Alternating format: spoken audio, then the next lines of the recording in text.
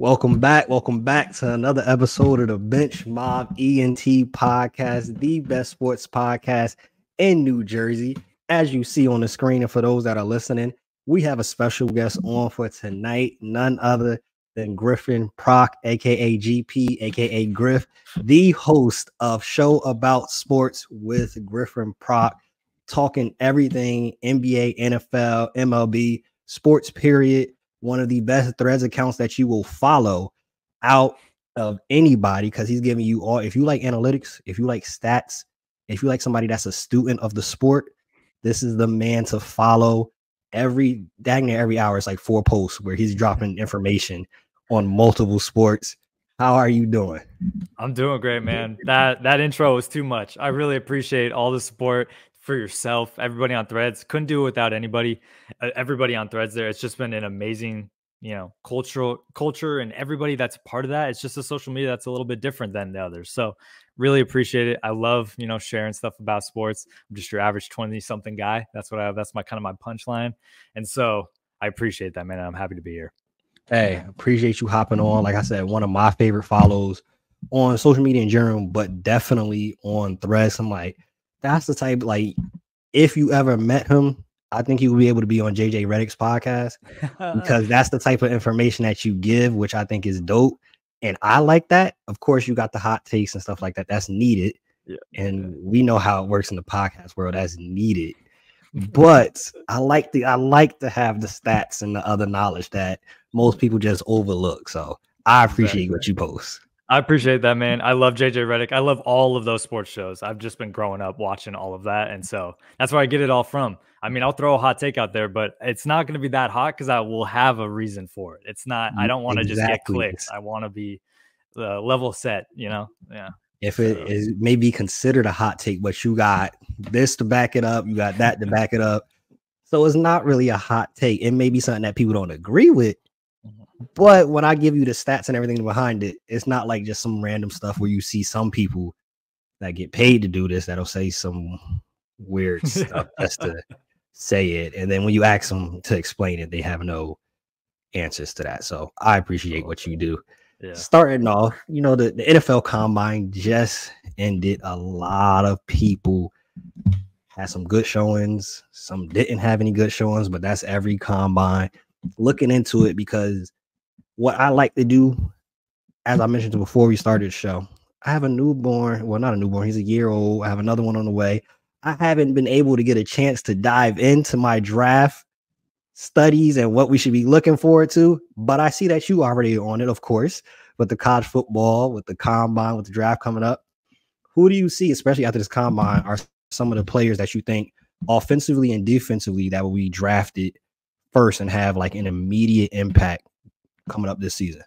Totally. Yeah, it's a great call out. I'm obviously on the tapes already. My wife, you know, she listens to me watching. I got YouTube pulled up on the TV, so she might get a little tired of it. Just know that she'll have a good perspective as well. But essentially, when we're talking offense, my number one, this isn't even a hot take. I love that we talked about hot takes, but this is not a hot take. Marvin Harrison Jr. coming out. He didn't do anything in the combine, and he shouldn't have everybody's knocking him for not performing or like playing an equal playing field, but that this is business. He is doing the right thing when it comes to the draft combine by not competing because he's one of those prospects that's the Ja'Marr Chase, the Justin Jefferson. He could be as good as Jerry Rice and or even his his father. So he's going to be explosive at the next level and i'm projecting him to go to the cardinals right here at four or three uh, depending on which spot they end up at and so just think about kyler murray throwing the ball to Marvin Harrison Jr. Kind of his first receiver that's like generational in that aspect. So I'm expecting huge things from that. And I, I wanted to kick it off with that so that people weren't like just mad that I skipped over kind of those like sure things. He is a sure thing at the end of the day. I don't know your opinions on it, but how do you feel about Marvin Harrison? Uh, I love Marvin Harrison Jr. Um, it was a situation just like with uh, my man that didn't do anything either at the quarterback position. Um, yeah, Caleb, Caleb or and Jayden Daniels and Drake Maye. They all didn't do anything. Some people don't have to. Y'all seen the tape. We don't have to go into this. We don't have to do all the. It's the it's the underwear Olympics. I don't feel like getting in my underwear and performing for y'all. Y'all seen what I've done. Certain players now. Some players, yes, go to the combine It could help your stock. You could run a four two one, and then everybody's looking like, hmm, should I should I be yeah. looking at him a little bit differently? Yeah. So mm-hmm. for some, yes, but for players like that, where we know it's a, it's not many sure things that you can say in the draft. Mm-hmm. Caleb exactly. Williams, Marvin Harrison Jr. Sure mm-hmm. things. Mm-hmm. Exactly. And that's that with this kind of draft when you're up top with the wide receivers, there's not always the sure things, not every single year, but he's one of those guys that if there was no QBs, I would take him number one overall. It's kind of like that situation with Marvin Harrison. And so instant impact when you talk about that. More instant impact, guys, it's it's a deep class for the O lineman. A lot of people are super hyped on the offensive tackle side of the ball, and I am uh, not side of the ball, but offensive tackles. I really like. I got to make sure I say his name right. The Oregon State right tackle Taliese Fugaga. I might have said that wrong, and I apologize to him and his family. But he is the best right tackle in this draft. Everybody's talking left tackle, and sure, you can sure up that thing. That's the most important side of the ball, uh, side of the you know line there. But the right tackle is just as important. I'm looking at the Bengals, middle of the middle of the first round. A team like that that needs to protect they their assets. Exactly. And so he, I think, can also get moved inside to a guard position. So he's super versatile. A lot of people are comparing him to Penei Sewell. And I think that's a great comparison across the board because if you can only, if you can kind of touch that Penei Sewell kind of tier, that's a good prospect right there. So I'm excited for him. And I think he's going to not be one of the first three offensive tackles off the board, but he could be the most impactful right away. Hey, you mentioned Penei Sewell. The Joe Burrow knows that name very well and would love to have Penei and the person that you just mentioned because I don't want to say his name wrong either. I I read that one. I'm gonna wait till draft day and they pronounce it and I get the right pronunciation. Or I have to look it up online. But definitely the Bengals, since he's been in the league every single year, part of that is him because he holds the ball because he's trying to make a big play. But every single year he's top three in sacked mm-hmm. most sack quarterbacks. Mm-hmm. Please protect that man. Yeah. Please protect Joe. That's what I'm saying. He's getting hurt in the offseason. I mean, he pulled his calf to start this past year, getting chased down by his own teammates like that. Oh man, you hate to see it. So sure up both sides of the ball. I know left tackle is super important, but they already got that shirt up. So get to the right side of the ball. I can totally see that happening. And if I'm the mm-hmm. Bengals, I'm super excited about this kid. So that's there. And then last but not least, another offensive guy Ja'Tavion Sanders out of Texas, tight end. Mm. You might not have been hearing a lot about him because tight ends in this draft are not as high as last year. Last year's mm. draft had four or five guys that were borderline first round, second round. They're only talking about Brock Bowers, and they should. He's a really good tight end prospect, and I would take him before Ja'Tavion Sanders. But in today's MV- NFL, I'm taking Ja'Tavion Sanders immediately because he's one of those – and I hate to compare him to great people like this, but the Travis Kelce's, the Mark Andrews, the George Kittles, where they're going to catch the ball. This is not just for blocking's sake. He is an instant impact, can catch one handed balls. He's not the fastest guy, but he's always open. Travis Kelce isn't the fastest guy. That's why I compare it to him, where I'm just like, this man's tape is insane with Texas. And so, Ja'Tavion Sanders, look for day two, round two or three, but just know that name, instant impact kind of player. Hey, for those that do not know, you got to go check out his page because he definitely called it out with uh Milton the Milton the 3rd mm-hmm. Griffin was he was on that mm-hmm. week week weeks ago. He was on that. So if he's telling you about these players, please believe this man. He is yeah. on it. He has been watching this film, and I think that's a great comparison with Travis Kelce. And we talked about it a little bit before on one of my other shows. Is like the 40 yard dash, yes, is, is good. It's cute. It's fun to have. But when you mention actually translating that to the field on game day, on Sundays, Mondays, or Thursday nights, Jerry Rice didn't run the fastest 40 time, and he's considered the greatest wide receiver ever. Whoever exactly. wants to make you can make your argument for him, Randy, or whoever, but Jerry Rice is in that conversation, and he didn't have the fastest 40 time at all. So do with that what you want, but yeah, hey, Travis Kelce, considered one of the top tight ends ever. Not the fastest guy, but can he get open and catch the ball? Yeah. Exactly. No, and that's what you have to do with this kind of tight end nowadays. It's not as much about blocking, it's about being versatile. And he is so versatile. And he's not even projected as a first round grade. So you're going to get such value for him for such a good team. I'm thinking personally, big Seahawks fan. I would love to have him on our team. We do, we tight end has kind of been a circle, a circus act. We've had Noah Fant, he's been all right. Will Dissly, he's been all right. Nobody that's really off the page. I'd love to bring this guy in, just open the field more for a guy like Geno Smith and beyond. So excited about him. I think that's a perfect transition to ask too. I mean, we could talk on if you see anybody defensively that makes an impact, but since you brought up Seattle, if you put on the GM hat, what are you guys like? You're the GM of Seattle. What needs to be done, draft and free agency, to have y'all back in the position of prominence of a playoff team, possibly contending for a championship? Hundred percent. It's a great question, and see, as many Seahawks fans like myself, we don't know what the future holds. It is a fresh slate, new coaching everywhere. Players remain the same. The first thing I do is re-sign Leonard Williams. We brought him in. We need the trenches, both sides of the ball. Re-sign him right away but it's hard to project what the Seahawks should do based on what is Mike Macdonald going to do? What is Ryan Grubb going to do? What are we going to do offense and defensively? Because Pete Carroll was ground and pound defense and mm. also just like a lot of running. But Ryan Grubb got Michael Penix air raid offense at UW. And so I maybe we're going to let Geno, you know, cook a little bit, like let Russ cook when that was a movement.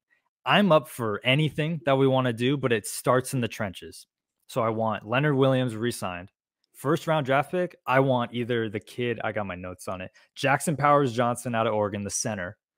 Think Tyler Linderbaum for the Ravens. He's mm. about to be there for 10, 15 years, and he's not going to get enough credit. He's going to turn into, you know, Jason Kelce, and everyone's going to be like, dang, when the Ravens did that, that was awesome. That's what centers are. Draft them. He, and it's going to be great value at 16, personally. If we're not going to go that route, get the best guy available. And I think that's going to be a Dallas Turner, a Jared Versailles. Both of those guys on the defensive side can go get the ball. And that's what's important in today's NFL.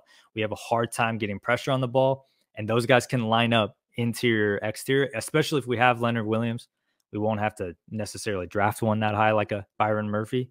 So go get a Dallas Turner that's kind of a gadget guy and can, can kind of kind of go off a new Osu on the opposite side, depending on what we do in the offseason uh, with some of our guys.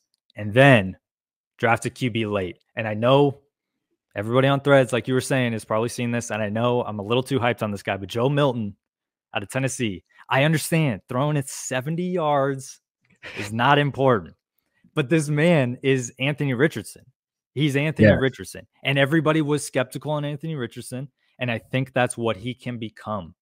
And so I understand football is a lot about touch. Touch. Don't throw it so hard. I know you have a missile but you can learn that. So take a flyer on him in the fourth or fifth round and go from there. I don't know. That's my two cents right off the bat. How how about you? I mean, I think that would be great because what we saw with Anthony Richardson last year was flashes of like, oh, we didn't expect this this early, but okay, we see something. He got injured. Mm-hmm. I think it's even a better situation for the Seahawks because for the foreseeable future, you know, knock on wood, Geno doesn't really get injured as much as mm-hmm. often. He had a couple injuries last year, but you could have a position where you could actually have Milton not have to start like Indiana. He doesn't have to start right off the bat. He could probably actually sit down a whole year, work on that touch, work on the different things, the mechanics or whatever that needs to be changed. But an arm like that, like you said, why not take a flyer? Geno's not gonna be here forever. He's not a spring chicken, so if we could have the option, like you know, most teams don't have that lined up. Like, all right, when our quarterback starts getting older and is on his way out, then they're starting to figure out, all right, who's gonna have who's gonna replace him. Now we got a replacement. Milton gonna wait right here. Mm-hmm. Geno, you got this year. We're gonna find out what this new offense is gonna be, how we're gonna run it. And then we'll see what happens next year. We'll see how much Milton improves this year in the system. Exactly. And I don't want to be in a position where we're at 16 and we're reaching on a Bo Nix, a, uh, you know, a Penix, a McCarthy, or even reaching in the third rounds for a Spencer Rattler or a Michael Pratt. Because I'm not sold on the second tier guys. So let's take the highest upside second tier of guys. And I think Joe Milton can be that. So think like a hybrid Anthony Richardson, Josh Allen, kind of just he lets it fly. He's still learning. That I know a lot of people are like, well, he transferred from Michigan. He had to get out. It's everybody's doing that. We can't say he transferred. That's why. You saw Harbaugh wasn't going to build around a system like that. But in the NFL, that kind of prototype works. And so I'm really interested to see with Milton.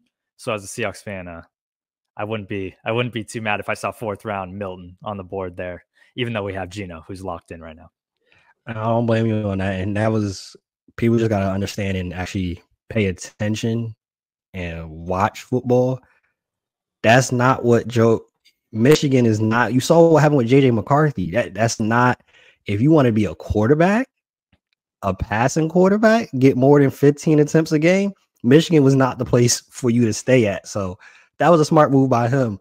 When we look at the draft coming up on the defensive side, who are some prospects that comes to mind that hey, this year they can make an impact already? Oh, totally. So there's a lot of cornerbacks in this year's draft, and we've been seeing year after year cornerbacks going in the first 10 picks. I expect this to be a super offensive draft, especially at the mm-hmm. beginning, 32 picks. I wouldn't be surprised if like 70% are offense. Like, as crazy as that sounds, there's not that Will Anderson, there's not that Aidan Hutchinson of this draft. But when you're looking, or like Sauce Gardner or Devon Witherspoon, but the guy closest to Devon Witherspoon, and I personally know that because I watched Devon Witherspoon all year, being a Seahawks fan, is the Quinyon Mitchell kid out of Toledo. Biggest knock on him, he played at Toledo. So I don't even know half the teams that he was playing against. Wasn't the top tier competition. You might be like, I want to go get one of those Alabama kids, but he has all of the aspects. He's the strongest cornerback of the draft. He's the fastest cornerback of the draft. And he has that twitchiness, that aggressiveness to punch through the ball. He's not afraid of any side. He's not too small, not too big, not like a Nate Wiggins too like lean. He's a little bit thicker. And so if you're looking for a guy that's going to fall because someone's going to fall in love with the idea of a Clemson or an Alabama cornerback, you could get Quinyon Mitchell later. But I think the NFL is going to sure up, like get a little smart and actually draft him first or second. But if he falls, watch out for him as I think he'll be instant impact on a pretty good team. That would be dope for him too. Like I I never obviously been drafting NFL, but if I was in a position and I get to go to a winning team and I'm able to make an impact from day one, I take that any day instead of going to Chicago and have to rebuild. And no disrespect to any Bears fans that's watching, but y'all know y'all in a bad situation. Caleb Williams to come. is not going to turn around immediately. I could be wrong. Caleb Williams could be Patrick Mahomes and everything changes from day one, but I just don't I don't see it. Uh, quarterback is needed, but it's a lot of other holes going on in Chicago. Coaching staff, Ryan Poles uh, is yeah. Yeah. No, it's not just a Caleb Williams thing. They need to build around him, just like they didn't build around Fields, really. They're like, we got you, DJ Moore, but your offensive line sucks. Our coaching staff honestly wasn't too much to write home about. So it's a lot more offensive line. Uh, so many things. So if Caleb doesn't turn out, can't you can't knock him for that. But I think he has a higher upside you know than Justin Fields. You know it's going to happen too. If it that first year, two years, it doesn't pan out to that he looks like Patrick Mahomes, even though he doesn't have a line and he only has DJ Moore. Mm-hmm. You know that conversation is going to start. Not saying that it's the same situation in Carolina, but that whole conversation has started already with Bryce. Is he a bust? And it didn't help. CJ Stroud had the best possible year that you could have as the number two overall pick. And the conversations have started like, oh, is Bryce a bust? I promise. Can we look you. at the whole picture? Like, oh, yeah. I don't know if we can say he's a bust as of yet. And it all comes down to this you have a quarterback on a rookie deal. It's financially the smart thing for a team to do because the quarterback is then the most expensive position after four or five years. So the Bears just restarting with a potentially better qu- quarterback in Caleb Williams than Justin Fields is financially the right thing to do. That's what it should basically come down to. Nothing else. That's all. That's in my opinion. And so I'm interested to see. But that that's here nor there. That's the Bears. That's their own problem. yeah, that's a whole other day. That's a whole another episode where if we talk about the scope of the NFL, but yeah, we're not gonna spend too much time on on the Bears. but as I stated earlier, college football, college basketball, men's, women's, NBA, NFL, you cover it all on the NBA side, right? Celtics looking like the proverbial number one team in the NBA, has the best record, and the Denver Nuggets after All Star, they seem ready. Hey, let's turn this championship DNA back on. Y'all can't mess with us. I'll start on the East. Who do you see as like the biggest threat possibly to the Boston Celtics? So it's a really great question. I think the East is the Celtics for the taking. I am je- if I'm on the West, I am jealous. Eh, I wish I was on the East because the East is battered. Everybody's injured. The teams that are supposed to be good are still developing. And the Celtics, this is going to get you know played on a loop, and it has been for them for a year. It's the oh, this team's looking different than they did last year, and then we say, well, that's what we said about them last year. But I genuinely think that, and it's crazy. I'm going to say this, and then it's just going to bite us all in the ass, you know. But think about it. I think bringing in Jrue Holiday, that veteran presence, is so important. I think the Bucks are missing him more than we are talking about. I think Dame is great, but Jrue is just such a calming presence for any team that he was a huge addition for them. So when I go to the team that I think is the most dangerous to them, I think the Bucks are. And I mm. only think it's the Bucks. But if I had to choose another team, it'd be the healthy Knicks. Not the Knicks right now. Not the Knicks that just beat the Cavaliers, because that's a whole different conversation for the Cavaliers. And I'm sorry, it wasn't an agenda last night when I posted that. but, but the healthy Knicks, I want to see all of those guys go toe to toe with the Boston Celtics, as I uh, genuinely think they could put up a fight. So those two teams, Knicks and Bucks. What about you? Yeah, the Knicks. It's just it's the worst time possible. Like you said, the injuries. Like I was high on the Knicks leading into it before the Randle injury, and honestly, I've separated my shoulder myself. I'm not Julius Randle, but that's not a that's not a just you just come back. I mean, we've seen even with Kobe. Kobe eventually had to get surgery. Like you could probably play through it, but you're you might see in the playoffs a couple times Julius Randle going to the side, accident, hey, pop it back in, pop it back in. So it's still going. It's going to be a problem. One of his issues that we always see come playoff time shot selection, turnovers. If you got a separated shoulder and you're trying to shoot the rock, that might cause issues. Being that they aren't healthy, like you said, I think the Bucks are the best possible option, and they seem like they've kind of figured something out since All Star break.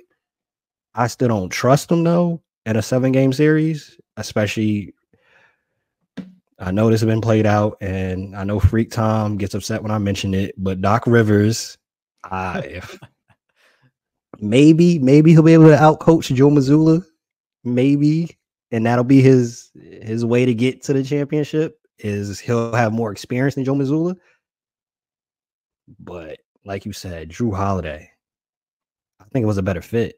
Dame is a sexier fit, but yeah, sometimes you don't have to go with the sexier on the outside you, you don't go with that all the time just because they look good and they Instagram model. You you what's on the inside? What what really matters? Exactly. Defense. And Ding doesn't have that right now, really. So Jrue and was a better fit. That was that was it. your wife. That was the perfect one.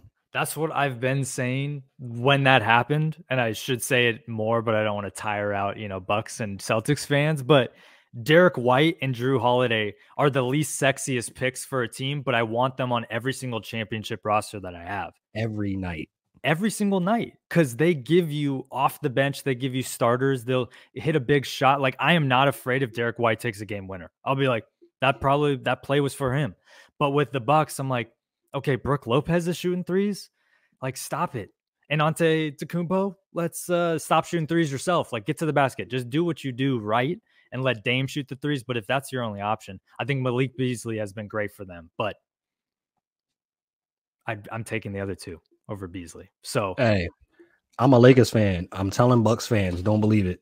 Malik mm-hmm. Beasley, when you need him the most, he's going. I'm telling. I'm a Lakers fan. I saw it in L.A. We I saw the flashes in a couple of games. He's shooting sixty percent from three. I believe it when they needed game four, game five, closeout game, and he goes 0 for 6, I'm gonna just find this clip and then I'll post it and be like, I I told y'all. And to your point, you mentioned Jrue Holiday, Derrick White. That's what the Knicks have too. Like Josh Hart, the other night, 10, 19, and 12 when Jalen Brunson got injured. And give me Josh Hart. Give me Josh Hart on any team every single day of the week. 19 rebounds from your two guard when your point guard, your MVP candidate Brunson gets injured, he steps up. You don't have Randle. And like you said, that's a whole because you know the whole agenda and whatnot. That's a whole nother. I don't know what's, what it is with the Cavs. And you you made a post about it when they was on a winning streak, and Mhm. you know it's not getting a lot of talk in the the major mainstream media. But I don't know what it is with the Cavs. It's it's very concerning They're, to lose a game like that. They're just like the Kings of last year. That's what my post was all about. And that's what I talked about on my podcast. The Kings were really good at offense. And then they ran into, you know, the Warriors in the playoffs. We saw what happens. The Cavs are really good at defense, not as much on offense as we saw last night, where without Mitchell, they don't have anybody that can produce anything. And I love Mitchell in a uh, playoff atmosphere, but do I love him more than Jalen Brunson and his supporting cast? No, I don't really trust Garland. Mobley has been now overrated uh, at this point. And so, but what's so funny is if the Bucks and the Celtics go against each other, I know you talked about that clip where if Malik Beasley has a bad game, if Jayson Tatum has a bad game and the Bucks beat him, you know that's going to get reversed. Be like, well, I thought Tatum was a top 10 guy. I thought he was a top five guy. So it can go every way, you know? And so it's, I really only think it's between the Bucks and the Celtics. I don't think Embiid's going to come back in time to be healthy enough. The Knicks are too battered, but if they're, if they're right, I think they give them the best chance other than the Bucks. So that's my East predictions. Yeah, because um, like you said, Embiid, uh, if I'm Philly, send him out. There's no need. By the time he gets actually gets back, you're talking about he's not gonna be in game shape. So then he got to play himself into game shape. And then you got the biggest stage, playoffs. Nah, protect your again, Joe Burrow conversation. Protect your asset. This was a good chance for y'all to win this year, but he got injured. So let's move on to next year. It is what it is. On the Western Conference, I'm a Lakers fan, as I mentioned. The Denver Nuggets, the Denver Nuggets, Nikola freaking Jokic, Aaron Gordon, and Jamal Murray. No matter how up and down he plays, for some reason he sees the Lakers and it's like a bull seeing red. He plays his best games. Who's the biggest threat to Denver? I I, I I know it's love not the Lakers. See, I didn't I didn't want to rain on your parade. I'm not on the Warriors bandwagon about them coming back either. I think they're both in a weird spot. When it comes to a team that can beat Denver, I think we have to go older rather than younger. And so I like the Clippers and I like the Suns. Now both teams have been overrated in their own right and then been stopped these past 2 years. So they haven't proved that they can take that step. But if we look at the Clippers right now, genuinely, I think they match up one through five the best out of anyone and have the star power to keep the game going. With the Suns, I mean, you can't write off KD, you can't write off Booker in a playoff scenario, even though a lot of people have been throwing a lot of shade at KD, rightfully so, that he hasn't won outside of Golden State. He didn't, he joined the 96 Bulls and won a title. So, like, that's a, a couple titles, whatever it was. But, you know, that so I think the Suns or the Clippers are the best because they're old, older. I shouldn't say old, but older. But if I had to go young, the Timberwolves and the Thunder could give them a good scare. I mean, the Thunder held held off the Suns last night. I was worried when they came back. I turned the game off when I was like, "Oh, Thunder's up by, you know, 25-26." Turned it back on in the fourth quarter when it was a three-point game. I was like, "What is going on?" And so, yeah, those would be my teams. I know that was a lot of teams, but I Nah, that's good because that's my concern too with with the Thunder is just how young they are and how the whole roster really doesn't have any playoff experience. I know they got Gordon Hayward over there, but if we be honest, Gordon Hayward has been injured probably the last 15 years of his career. So I don't know how much of an impact he's having on the court. Maybe it'll have some veteran experience, like, hey, this is what you guys should look for. But at the same time, I've heard it plenty of times, and I know you've heard it too the veterans that they respect the most are the ones that are still playing and can show them that way, unless you're a UD, and that's not Gordon Hayward's personality be Udonis Haslem. So I don't think anybody's going to listen in that regard. The Timberwolves, because of their defense, And we saw it last year. They gave them, they was the only team that gave Denver somewhat of an issue. Outside of that, Denver just ran through the West like it was no problem. Like, uh, you guys, uh, 4 you guys, for it was, it was nothing to them. So I think, like you said, Minnesota, or I would say the Clippers. Phoenix is just like, uh, they can't get healthy this year. One Fair. game you have KD, one game you have D Book, one game you have both of them, and then Beal is at home with his wife. We we just we haven't really seen it. That's my only concern with them. Do they have enough time put in to then be able to go into a playoff series and beat this Denver squad where it's literally like clockwork with them? Go ahead. We'll give you a head start. Be up 20, be up 25 be up 15 in the fourth with five minutes left. It's okay. We're good. We have Nikola Jokic. We have Jamal Murray. Michael Porter Jr. is shooting lights out. Our bench is solid. Mm, we're not worried. And it's given is really given that that championship vibe of those championship teams that go on one championship, two championship, they li- they're playing just like that. It doesn't matter what the score is. They never seem like all right, concerned they're gonna lose the game, 100%. and that that's scary. I know the Celtics have it easier in the East, but I don't know if who's beating Denver in a seven game series. And as much as I didn't want to see it because Nikola Jokic isn't the most athletic person in the world, I don't know. I can't. I don't know over the next four or five years, unless he wants to go retire and go chill with his horses. They're going to be in that conversation every year. Oh yeah. Oh yeah. No, it's it's without doubt, and I like your Timberwolves call out because you need size against the Nuggets. It's not just Jokic; everybody on that team is big. I mean, Jamal Murray is a shooting guard at the point guard position, so Ant would be a great matchup for him. And then the two the Twin Towers, even though you know Karl-Anthony Towns and Rudy Gobert, you can say what you will about them. That's better than having Chet Holmgren and the power forward Jalen Williams against. I saw Nurkic kind of bullying, you know, Chet Holmgren last night, and I like Chet, Jokic is just going to unintentionally move him out of the way, and so that's what I worry about. It can't be all on, you know, Shai Gilgeous-Alexander's back when it comes to that exactly. team, and it kind of felt that way last night. And I like that in a one game matchup, but in seven games, I need my other exactly. players to show up and be able to, you know, hold their own, like Denver, like you said.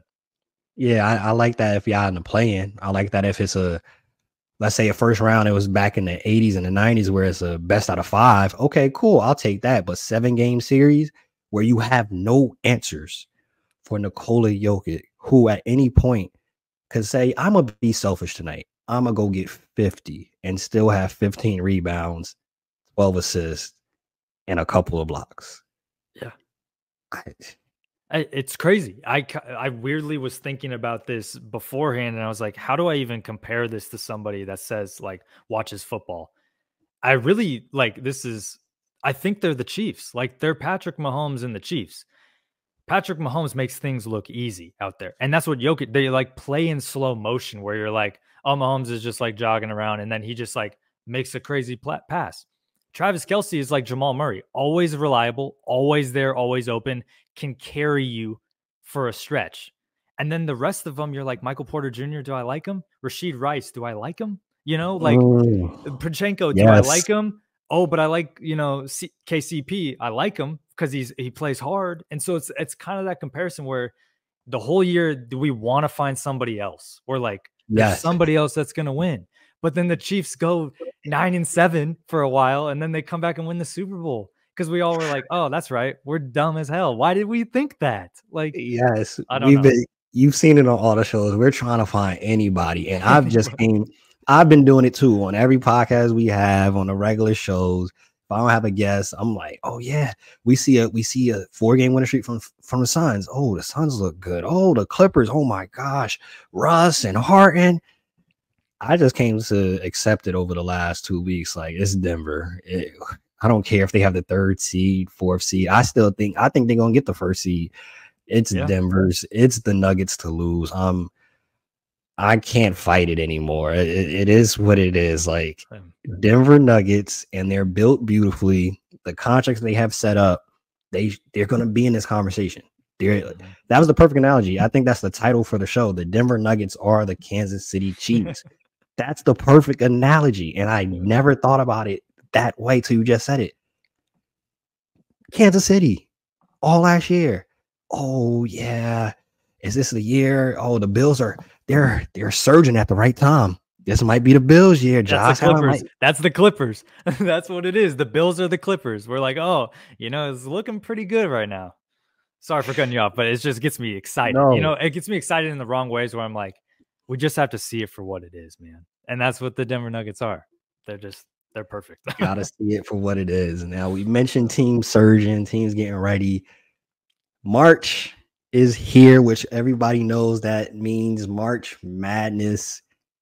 Who are some of the teams that you see are some Cinderella teams, some teams that possibly can make some noise that aren't the top teams? You know, the UNCs of the world. The, who on both sides do you see? USC, Iowa, on the women's side, obviously, like who do you see are some other teams that could possibly make some noise that's not on everybody's radar?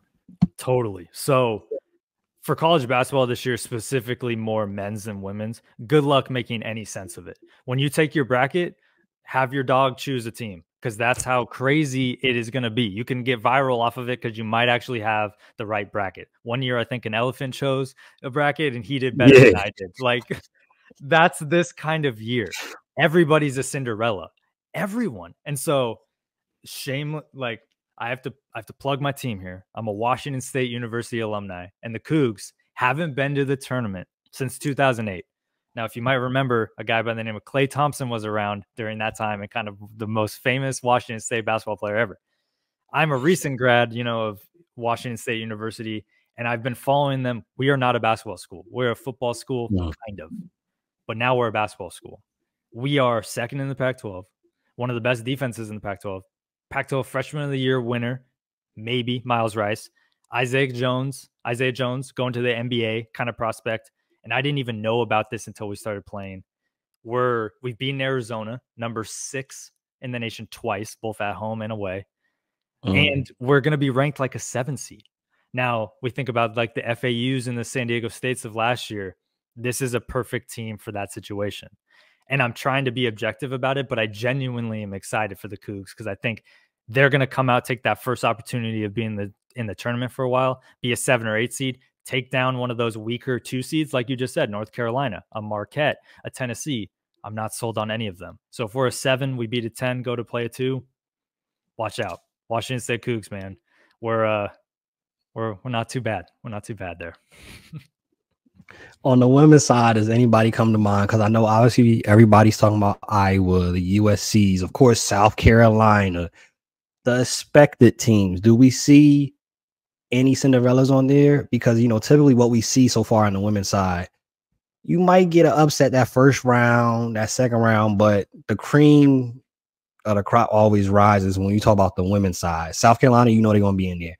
Unless you, they're gonna be in there like is there any team on the women's side that's like, all right, they might be able to make some moves? Oh yeah. It runs through South Carolina. I don't think they get enough credit. That's not going to be my team, but I just want it to be known. South Carolina is making history like Caitlin Clark's making history. And I don't think they're getting enough attention because they I wrote about it on threads where they are set the new record for most SEC wins in a row at like 73 in a row and climbing. Like they haven't lost an in conference game in years. Like it's insane. And so shout out to Dawn Staley. They're running a hell of a program there. So everything runs through them. So if any of these Cinderella teams want to make any noise, good luck trying to go through South Carolina. But I always love a team that's in a conference that is just they're just winning a ton. So Fairfield, they're in the MAAC conference. Yes. 26 and saw. 1. 26 and 1. Now, they haven't played anybody of note, but I it's like the Florida Gulf Coast of the world where you're just like they're undefeated essentially. They haven't played anybody, but in March it's just one game. You show up for one mm-hmm. game. Your whole crowd's going to travel for that game. You play they're projected to be a 12 seed, so you're going to go against like a 5, 6 seed. So it's not the t- the cream of the crop of women's basketball. So I don't know. Watch out for Fairfield. That's my first one. My second one is UNLV, a little bit more known. you know, but still in the Mountain West. They've putting up 100 points. Let me make sure I say this right. Three times this year in college mm. basketball. That's crazy. What do we got? LeBron out there? I mean, not even Caitlin Clark's teams are putting up 100. Like, that is a lot of points. One of the most efficient offenses in all of college basketball, both sides. And so, watch out for them. They could be projected as a seven seed, kind of like the Cougs, and uh, could make some noise, at least in the first two rounds, I'd expect. I was looking at that. It's funny you mentioned that because I was looking at it today and I saw, I'm like, I've, I've been hearing about Fairfield, and I saw, I'm like, wait, how many games in a row? 26. Hold up. I mean, to win that amount of games, like that, I know some people might view it as because they didn't play anybody, but that's you still got to play who's in front of you. So to win that many games, is not for nothing. So that's something that should be factored in for sure. Like whoever they end up playing, that's not a team to take lightly. Like they know how to win. Mm-hmm. And you look at the games that they won, it hasn't all been, oh, they won by 25. It, has been some games where they had to grind it out and figure it out. So I think that'll be perfect for them. And UNLV, you getting buckets like that. Look, whoever played it, y'all sleep if y'all want. Do not do it. They'll put up a hundred first round and it'll be all over the news. So for sure. And of course, of course, you gotta give the love and the respect to South Carolina and what Dawn Staley's been doing. Like it's tough because it's in a year that Caitlin Clark breaks all these records.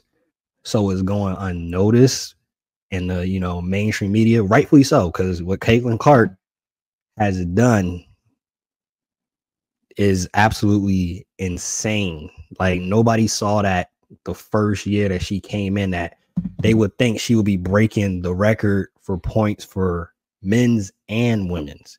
Something that's been held by Pistol Pete for a while. Pistol Pete ain't been in college for for a while. You talk about Klay Thompson. Pistol Pete hasn't been in college for a good minute. Exactly. So that was one of those that people didn't think was going to get broken. Even uh, the guy last year was trying to get an extra game in to break the record. Yeah. So shout out to Caitlin Clark, but South Carolina definitely has to be the favorite. Has to be the favorite to win it all. They didn't win it last year, but that again, they was right there to win it. So Dawn Staley, I'm not betting. I'm not consciously betting against Dawn Staley at no by any means at all. So no, I can tell you right now, I'm putting South Carolina and Iowa in the championship. I want that. That's what I want for women's basketball. I think that would be just like the LSU Iowa last year, like just insane. And also, I just want to see, you know, what Caitlin Clark's got it in the biggest moment, you know, because if she can win a national championship on top of the record she just set, the everything's going to break. The internet's going to break. That's going to be awesome for them. But if also Dawn Staley wins a championship, just a dynasty at that point with South Carolina. They're just pretty, all five of their players are starters in the WNBA. Like that's how good they are. It's, it's, the dream team. It's the Fab Five. It's whatever you want to call it, and it's kind of insane. So, but watch out, Fairfield, twenty six and one. Don't run them hey. off. All right, man. We got the overtime segment, a little more fun, a little cap and facts, a little sports trivia that we're gonna end off the show with. Again, Griffin Prock is in the building. We thank you for hopping on with us, taking time out of your schedule. I totally forgot to even mention it before we started because I was just so happy to have him on the show. Hey, if you watch up to this point, hit that subscribe button, share, like, and y'all know what I always say: share it with your uncle, your cousin, your dog, and share it with your baby moms. Even if y'all do not talk anymore, this is great content. She's gonna want to see it for sure. Closing off with this. Little trivia: Which of these quarterbacks have never thrown 500 yards in a game? Peyton Manning, Joe Burrow, Matt Schaub, or Tony Romo? Oh man, those names. That's we're everywhere with those four names. I, I like feel like a hole going into each of them. I'm like, Matt Schaub just feels like he's done it because why would why would he be on this list? like, uh, I'm gonna go with Schaub though. I'm gonna I'm gonna go there. I know he was slinging it for a while though, but so funny enough, Matt Schaub has thrown 500 yards. Joe Burrow has thrown 500 yards, and Tony Romo has done it twice. Wow. Peyton Manning, his career high, it was 471. Wow. I mean, that craziest thing. I saw that. I was looking at the list. I'm like, wait, Peyton hasn't. Wow. Ben Roethlisberger was up there twice too. Warren Moon was up there, but I would have thought Peyton had a 500 yard game. Peyton yeah. did not have a 500 yard game. That kind of makes sense. I mean, in his era, like it's there was more, it was more 60 40 run the ball. Not that Peyton Manning wasn't slinging it, but even in his peak with the Broncos, where he won that Super, Super Bowl, he wasn't throwing Anthony Richardson 80 yard bombs, or I should say, I should say Joe Milton bombs now but he was throwing checkdowns to Demaryius Thomas across the middle. They're like, Demaryius, we can't have you run long anymore. Peyton can't throw it like that. You have to run across. You have to run it through the seam. So that's a good question, though. I I really thought Schaub was going to be on that, but he he let it go with Andre Johnson a few times. It sounds like so. Yeah, yeah, he had he had that one. He had one. So oh, and corrected. My bad. It was four seventy nine. Four seventy nine. October fifth, twenty fourteen. Denver against Arizona. Yeah, Dang. four touchdowns that game, 31 for 47, 110.2 quarterback rating. So Dang. they might have taken him out. Maybe that's what happened. They're like, "You're done." Probably was. yeah, he was sacked three times that game. So they're like, "Ah, yeah, yeah, yeah. you're too old for this." Yeah, come on. we can't have you injured. Which quarterback you think will win a Super Bowl first? Josh Allen, Lamar Jackson, Joe Burrow. Oof, I gotta go Joe Burrow with this one, but my my heart, I want Lamar Jackson to win it. This man has been so close and so ill-defined for so long that I want him to win it because he's really worked on his game and gotten to this point where he's not mentioned in the top five, but I think he's right there at like five A or six, right there. But overall, I think Joe Burrow's game fits the best out of that group and the talent that he'll have around him, the Ravens still haven't like we're still acting like Odell Beckham's going to carry them, you know, to carry Lamar and Mark Andrews gets hurt and their running game disappears, like weird play calling. I don't know. But Joe Burrow, I feel like, is the perfect game manager, but also on his feet with kind of that Patrick Mahomes level where he'll make it happen when you need it. And then Josh Allen, he needs to just be consistent, man. That's what it comes down to. I, I want to give it to him, but I think the curse of Buffalo remains and probably will for a while. Yeah, I think Lamar needs some more help. They they tried to fool us saying that, you know, they upgraded the wide receiver room last year, but as we saw, it wasn't upgraded. And unfortunately, those running backs at some point in the season are going to get injured. Yep. Literally for the last two, three years injury no matter what. And it was like all three Gus Edwards, J.K. Mm-hmm. Dobbins, Keaton Mitchell. Oh, he looks great. Injury. Done. I don't know what's going on in Baltimore. I gotta go look at the NFLPA, what they what grade they got with the training staff, but something's going on in Baltimore that y'all running backs keep getting injured Seriously. and putting Lamar in a bad situation. But Seriously. Yeah, that's a whole nother whole nother yeah. we'll have you back on at some point, especially when we get closer sure. to the season. For sure. Ask every guest this. I have to ask because, as I mentioned before we started the show, I am a foodie. Um, as you can see, I might confuse you because I don't seem that big, but I eat for four. so I love food. So I'm gonna ask you, what's your favorite go-to meal? Oh, see, this is a tough question because I don't know if I want the PR backlash potential because if I watch Yo Rush at all, just saying anything about talk, and I love tacos, so don't come after me, people, because that was crazy, and I agree with everyone that was like, attacking him. But my favorite go-to meal, I got to go spaghetti. I love a classic bolognese. That's like my go-to a meat sauce spaghetti all day. I will have. I literally had that over the weekend. It's it's money. So that's me. What about you? I eat any and everything. Anything. Anything. Any and everything. Like it's nothing that I do not eat. Um, I've always joked with my wife though, like one thing, if I, you know, in jail to give you that one last meal before you go, if I had to oh, have yeah. one last meal, it will probably be something really simple that most people wouldn't think about. I want a peanut butter and jelly sandwich on wheat bread with chocolate milk, but with the chocolate syrup where you can put as much chocolate syrup as you want. I could eat that every single day of the Oh, yeah. week for the rest of my life. That is Peanut butter so jelly with chocolate milk.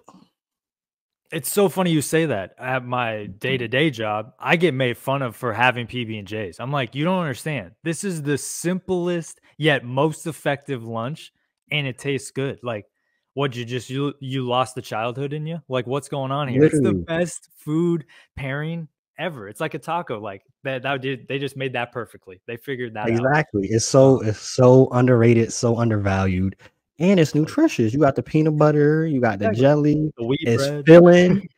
It's filling. You have two or three of those. You good for a couple hours, Yeah. and you get a little energy. So I peanut butter and jelly, hands I'm down, every single day of the week.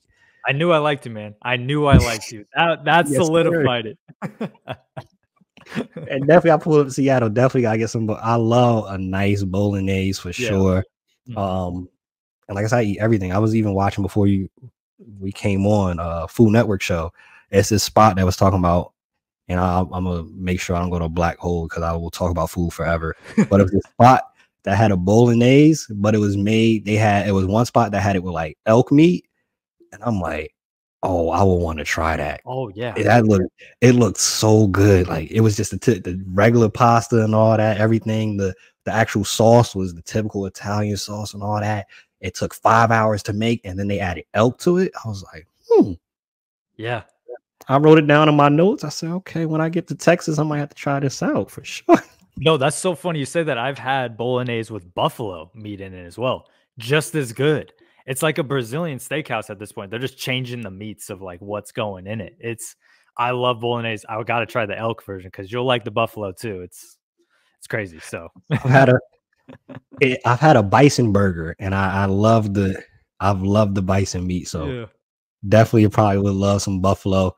Yeah, wait. If I get I get out that way. We for There sure. might not be no sports. We're gonna try a bunch of restaurant spots out for sure. I love it, man. Don't worry. We only kind of got football, but don't worry. The Mariners are bad. Soccer's good, but I don't watch enough soccer to have a point of view on it. So yeah, definitely food. We'll get you seafood, the whole nine yards here in the Pacific Northwest. Most definitely. I got two more to get you out of here. Again, we appreciate you hopping on. Best candidate you think to break LeBron's record. Now, most you know, most don't think it'll be broken, but if we're hypothetically speaking here, who in the NBA now, or somebody that you see coming in the draft next year, anything like that, that you think could possibly break LeBron's scoring record? I got to go with Luka, I think. I mean, his cuz I'm going longevity here. We look at the way that Luka plays kind of like Joker, Joker, Joker, bleh, Joker, you know? He just Mhm. like stumbles around. He's not making he's not making any kind of careless movements with his body where he might like get injured. He's not flying for dunks and stuff. So I think Luka will could play the longest out of anyone and he's already set like first player to do this at 23 or 24. He's super young. And he's he's kind of the James Harden of this generation where he's not stat padding, but they're not winning. So you can call it stat padding at that point. And so and I love James Harden, so that's no knock on James Harden. But I think Luka might be able to put up 40,000 in his career, but I don't think anybody's gonna, to be honest with you. I don't think there is a right answer on that one. Yeah, it was just hypothetically speaking, just just to possibly throw it up there on a post and have a conversation. But I don't think because the thing is, LeBron probably could play another two, three years, man. yeah. Who knows where this is ending at? Like we see 40,000 now. This might end at 45, 46,000. Oh And yeah. that's being healthy. That's yeah, I, I, that's And we're not even- every single year. He's still what? He hasn't had a year under 23, 24 points per game in a year. 21 years Longevity. straight. I think that's a good choice. Luka's the Luka puts them puts them up there big time. Yeah. Luka, and that that's the only thing I can come to my mind because he's young. Maybe maybe if Victor Wembanyama goes on a crazy stretch, but There's no way. if There's Yeah, no way he stays as healthy as, as we yeah, would want him to be. Like, and I love Victor. There, I just there's gonna be an ankle, high ankle sprain. There's gonna be something. Eh, it's just Le- LeBron has done it because of his longevity. It's not just the years he's played. He's played 82 games a year sometimes for multiple seasons. Like that's insane. So my answer might be Caitlin Clark, to be honest with you, on the WNBA side. She might put up 40,000. Hey, no, that's a really good answer. she, might. She might do that in the W too. Yeah. Like Yeah. she's I think she's going to revolutionize the game in that way. Like Steph Curry. WNBA, effect. yes, because the WNBA, because we was talking about that with Sabrina when Sabrina was coming in, we thought it was gonna have that Steph Curry effect. She is more of a traditional point guard. She's trying to get everybody involved. Mhm. Caitlin Clark, she gets assists too, but she can still get eight assists and still drop 40. Mhm. I don't know if it'll be an immediate impact because I'm not going to disrespect the grown women that are in the league right now Totally. that are probably taking pride in saying, I can't wait till she gets here. And coaches that are literally like, I can't wait till she gets here because I have a game plan for her. Yeah, yeah, yeah. But at some point, it's going to click. And she can, she, I, she can, granted, it's not 12 minute quarters, it's 10 minute quarters. And at, little by little, they keep increasing the amount of games. hmm 40, 42 games. They might end up giving them 50 games. hmm I wouldn't be surprised if she, and that would be crazier. We'll have to hop back on like 15, 20 years. If she does that in less than 82 games, good. Uh, uh, exactly. Exactly. that would be crazy. Last one before we get you out of here. If you had to give us, because I know you listen to multiple multiple podcasts, we mentioned it earlier, JJ, some of the ones that you listened to growing up. If you had to give right now your favorite five sports podcasts that you're listening to, what would they be? And I remember you made a post about this on Threads, but I don't know. It might have changed at five. You might be listening to this right now because it's draft season. Your favorite five. Okay, I love it. Well, number one, BME podcast. If you ever heard of it, uh, it's pretty good. I just started listening to it when July, I think, when Threads came out. Yeah, that's number one. But Honorable mention. We will put them honorable mention. I love it. I love it. Okay, number one for real is Ryan Russillo's podcast. I don't know if you listen to him at all with the Ringer. He is great. He covers basketball mostly and football as well. Depending on the season, he's great on the Ringer. Bill Simmons, he's been a long time guy in the sports space. Big Boston guy, you know. So if you like Boston, he'll talk a lot about Boston, but he's not as biased as he used to be. He used to be a little more off the record when he was younger, but now he's really honed his craft and great kind kind of commentator and has great groups like yourself. Like he brings people together and has great conversations. I would then say anything from the athletic. I mean, I really Mm. like what the athletic's doing when it comes to the NBA show or the NFL show. Depending on the season, I just you know go back and forth between those two. So I definitely shout out the athletic there. I love. I forgot what the name of it was because I watch their YouTube clips all the time. But the one with Big Wos and uh, the other guys on on the Ringer, this might be the NBA Ringer show. That might be Mm, what it's called. I But so. they're really good. The three guys on there are great. Big Wos is the best. That's why I shouted him out personally. Um, and he has his own stuff on the side. So definitely him as well. And then last but not least, I really like PFF. If we're talking about statistics and everything, a lot of my information comes from PFF. You know, that's where I read a lot of my articles. They have a lot of great people and statisticians there that, you know, stats are one thing, but they make them really mean something at the end of the day. So definitely shout out to PFF, specifically the, you know, podcast right now for all the draft content. So um, those would be my five. And then honorable mention, BME, maybe show about sports. That's pretty good too. And those would be my top seven. Definitely, those are the top seven right there. and like you said, PFF, great for that. The athletic, I love listening to the athletic too because I mean the articles too are written where they give, depending on if you find the right author, they give that information. And I love, I love bringing it into the shows and like, hey, did you know that they're shooting this percentage from this and this owner? Like I saw a stat that the Athletic shared with um one of the articles was that Jalen Brunson on and ones. Matter of fact, I'm a, I'm a, I'm a. It was a crazy stat, and I'm like, to your point again of how much Yeah. he is needed for that team. and the thirty-five percent, thirty-five percent of Brunson's fouls that he's fouled on a shot, he actually converts the and one, leading the NBA right now.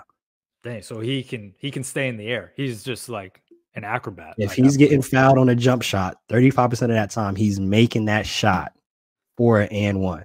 I'm like, you don't he's get those. That. He's got that 2K badge. You know, you ever play 2K with the acrobat badge? He's a Hall of Fame on that. They're showing animations that are brand new in that game, and you're like, "What?" Online? Like I've never. Uh, yeah, that's Jalen Brunson, biggest All Star snub.